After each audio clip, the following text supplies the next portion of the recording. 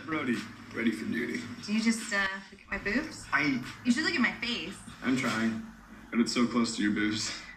Ha. This is the guy. You